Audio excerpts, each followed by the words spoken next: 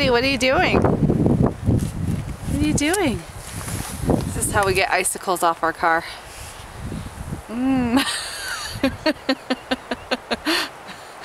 That's probably pretty gross, Freddie. yeah, yeah. What are you eating?